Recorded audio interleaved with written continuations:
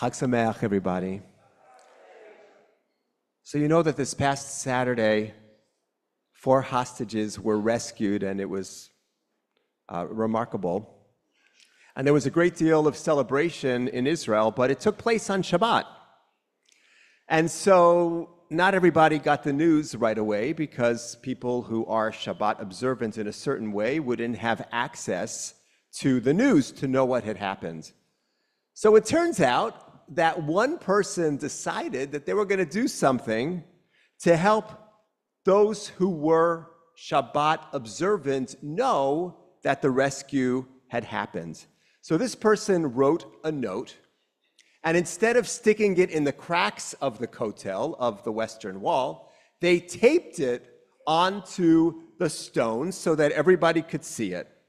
And the note began, Shomrei Shabbat Hayikarim, dear Shabbat observers. I'm translating. I have no idea if you heard that four hostages were rescued alive. God willing, the others will be rescued soon. So this note was taped onto the kotel. Now that might seem like a small thing, but I actually want to unpack that that is really a very, very beautiful thing because it cuts against the reality that we often experience, which is that as Jews, we often have feelings of resentment toward those who observe differently than we do. If we observe more than someone else, we might look down on them. And if someone else observes more than we do, we might think that they are looking down on us. It's just a remarkable phenomenon. It is human nature. I want to talk about it today because it's important, because it impacts communities. It certainly impacts families. Today is a day when we are thinking about loved ones who are no longer here. We understand that life is finite, and we all could probably tell stories about tensions that exist within families when it comes to observance, people looking up or looking down or wondering, what is the other person thinking about me? And the second reason that I mention it today is because this is Zman Matan Toratenu, the day of the giving of our Torah. And the question that I want to raise broadly is should Torah be bringing us apart, bringing us together, or should Torah be tearing us apart? So I want to share with you two interpretations of what happens at Mount Sinai that are very different and suggest two different modes of how we can deal with Torah as families and as a community. The first suggests that when the Torah says Vayityatzvu b'tachtit hahar, that the people were standing at the base of the mountain, that they were actually standing in order. So there was a certain order that took place. So the first group were the firstborn. And after them came the heads of the tribes. And after them came the elders. And after them the officers and then all of the rest of the men of Israel, and then the children, and then the women, and then those who had converted to become part of the people. So there was, in a way, this hierarchy, which is very striking if you think about it. Now, there's another tradition which is quite different. It asks the question why was the Torah given in the Midbar, in the wilderness? Why wasn't it actually given in the land? And the answer that was given is because they didn't want any tribe to claim that because the Torah was given in our territory, that we have more of a claim than everybody else. Giving it in the wilderness democratized the Torah. By doing it, as it were, in no person's land, it became the Torah of every person. I believe that we have such a tendency to break ourselves into tribes and some tribes arrogate to themselves that they have a superior status and that their approach in their way is superior to the approaches of other people. And I want us now to just take a moment to honestly reflect on how this pans out in our own lives. If I were to ask you if you could think of a time when someone looked down on you because of how they compared their observance, their approach to your observance, to your approach, you could probably think of such a situation. If I asked you honestly to think about a time when you looked down on somebody else, when you kind of poo pooed what they do, perhaps you could think about that as well. Sometimes we look down on other people who don't observe us strictly. Sometimes we look down on those who observe more strictly. We say, why aren't they as sophisticated as we are? Why haven't they evolved? Whatever it is, we use Torah to create rifts rather than to acknowledge our shared destiny. And this can happen within families.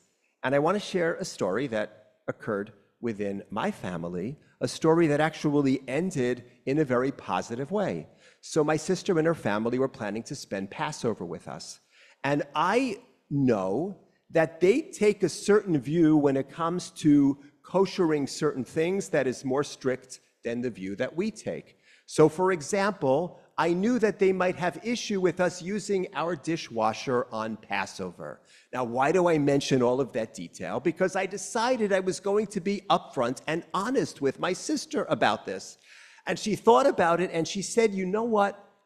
Maybe Passover will be difficult for us to share, but let's make up a Shabbat right after Passover that we can share together.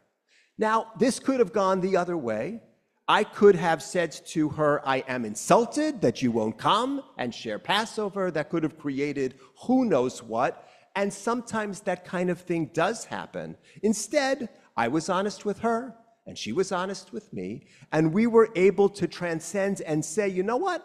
It might not work for this day, but our being together is important enough that we're going to find a time shortly thereafter.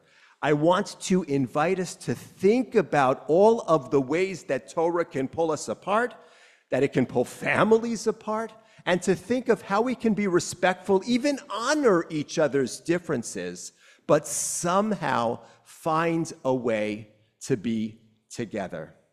So I urge us to go back now to this person who wrote a note and put it onto the kotel.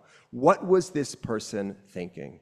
This person did not get caught up in there's this group and there's that group, and that's a problem. And God knows that in the state of Israel right now, there's a lot of resentment that Israelis have towards one another. There is the external enemy, but there are also the resentments and the animosities that build up within the Israeli larger community. So this person was saying, as it were, I do not want to abide by the image of receiving Torah that has us in hierarchy. I want to abide by the image of receiving Torah that says that it belongs to all of us. And I want my brothers and sisters to be able to celebrate the rescue of the hostages even if their observance is different from mine. This person was saying it is more important for us to be together as a people. God knows we have enough external enemies than to use Torah to tear us apart. This person was saying, in effect, that we are going to unite against those who hate us but we're also going to unite as a people to be able to celebrate the positive accomplishments that we have.